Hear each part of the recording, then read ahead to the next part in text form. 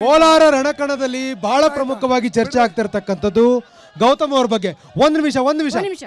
ಗೌತಮ್ ಅವರೇ ನೀವು ರಮೇಶ್ ಕುಮಾರ್ ಅವರ ಬಣಕ್ಕೂ ಸೇರದೇ ಇರತಕ್ಕಂಥ ಕೆ ಎಚ್ ಮುನಿಯಪ್ಪರ ಬಣಕ್ಕೂ ಸೇರದೇ ಇರತಕ್ಕಂಥ ಕಾಂಪ್ರಮೈಸಿಂಗ್ ಕ್ಯಾಂಡಿಡೇಟ್ ಆಗಿ ಅಂತಿಮ ಕ್ಷಣದಲ್ಲಿ ನಿಮ್ಮನ್ನ ಪಕ್ಷದ ಹೈಕಮಾಂಡ್ ಆಯ್ಕೆ ಮಾಡ್ತಕ್ಕಂಥದ್ದು ಇನ್ನು ನಾಲ್ಕೈದು ಜನ ಇದ್ರು.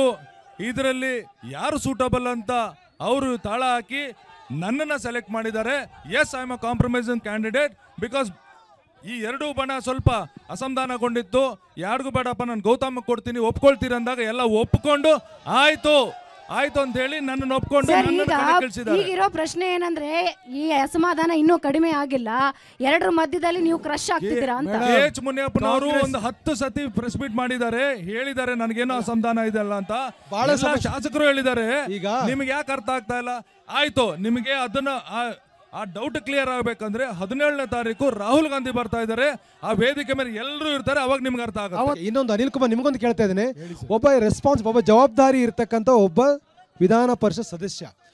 ವಿಧಾನ ಪರಿಷತ್ ಸದಸ್ಯ ಒಂದು ಟಿಕೆಟ್ಗೋಸ್ಕರ ನೀವು ಹೋಗಿ ಸಭಾಪತಿ ಚೇಂಬರಲ್ಲಿ ಕೂತು ನೀವು ರಾಜೀನಾಮೆ ಪತ್ರ ತೋರಿಸ್ತೀರಿ ರಾಜೀನಾಮೆ ಕೊಡ್ತೀನಿ ಅಂತ ಬೆದರಿಕೆ ಹಾಕ್ತೀರಿ. ಈ ಬೆದರಿಕೆ ತಂತ್ರದ ಹಿಂದಿರ್ತಕ್ಕಂಥ ಶಕ್ತಿ ಯಾರು? ನೋಡಿ ಇದರಿಂದ ಯಾವ ಶಕ್ತಿನೂ ಇಲ್ಲ. ನಾನು ಮತ್ತು ನಜೀರ್ ಅಹಮದ್ ಅವರು ಬಸವರಾಜ್ ಹೊರಟ್ಟಿಯವರ ಚೇಂಬರ್ಗೆ ಹೋಗಿದ್ದಿದ್ದು ಸತ್ಯ. ಆದರೆ ಅಲ್ಲಿಗೆ ನಮ್ಮ ಜಿಲ್ಲಾ ಮಂತ್ರಿಗಳು ಬೈರ್ತಿ ಸುರೇಶ್ ಅವರು ಬಂದು ಅಲ್ಲಿ ನೇರವಾಗಿ ನಮಗೆ ಮುಖ್ಯಮಂತ್ರಿಗಳ ಜೊತೆ ಕೆಪಿಸಿಸಿ ಅಧ್ಯಕ್ಷರ ಜೊತೆಗೆ. ಪೂರ್ವ ನಿಯೋಜಿತ ಅಂತಕ್ಕಂಥ ಸುಳ್ಳು. ಅದೆಲ್ಲ ಸುಳ್ಳು. ಅದೆಲ್ಲ ಸುಳ್ಳು.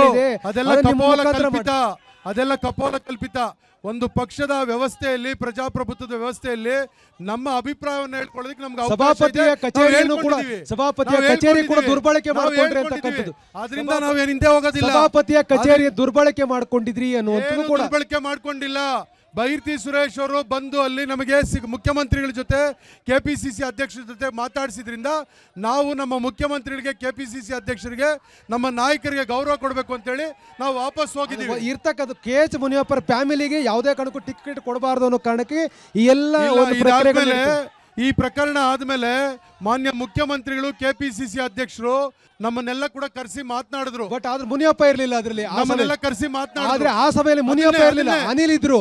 ಅನಿಲ್ ಇದ್ರು ಸುಧಾಕರ್ ಇದ್ರು ಎಲ್ಲರೂ ಕೂಡ. ಮತ್ತೆ ಇಲ್ಲ ಮಾತಾಡಿದ್ರು. ಅವಾಗ ಅವ್ರು ಏನ್ ಹೇಳಿದ್ರು ಅಂದ್ರೆ ನಾವು ಯಾರನ್ನೇ ತೀರ್ಮಾನ ಮಾಡಬಹುದು ನೀವು ರೈಟ್ ಕಮ್ಯುನಿಟಿ ಕೊಡಬೇಕು ಅಂತ ಕೇಳ್ತಾ ಇದ್ದೀರಿ. ನಾವು ರೈಟ್ ಕಮ್ಯುನಿಟಿಗೆ ಕೊಡಬಹುದು ಅಲ್ಲ.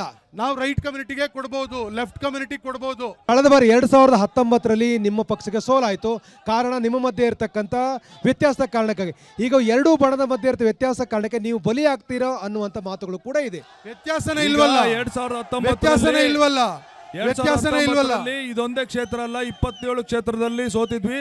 ಅದಕ್ಕೆ ಕಾರಣ ಪುಲ್ವಾಮಾ ದಾಳಿಯನ್ನು ಇವರು ತಮ್ಮ ರಾಜಕೀಯಕ್ಕೆ ಬಳಸ್ಕೊಂಡಿದ್ರಿಂದ ಇಡೀ ದೇಶದಲ್ಲಿ ಒಂದು ಇಮೋಷನಲ್ ಸೀನ್ ಕ್ರಿಯೇಟ್ ಆಯಿತು. ಅದರಿಂದ ಇಡೀ ದೇಶದಲ್ಲಿ ಸ್ವಲ್ಪ ನಮಗೆ ಆಘಾತ ಆಗಿದ್ದು ನಿಜ. ಆದ್ರೆ ಕೋಲಾರದ ಕ್ಷೇತ್ರ ಒಂದೇ ಅಲ್ಲ ಇಪ್ಪತ್ತೇಳು ಕ್ಷೇತ್ರ. ಇದರಲ್ಲಿ ಬೇರೆ ಬೇರೆ ಕಾರಣಗಳು ಇರ್ತದೆ. ಇಲ್ಲಾಂದ್ರೆ ಮುನುಸ್ವಾಮಿ ಅವರು ಎಂ ಪಿ ಆಗ್ತಾ ಇರ್ಲಿಲ್ಲ. ಅದರ್ಥ ಅರ್ಥ ಮಾಡ್ಕೋಬೇಕು.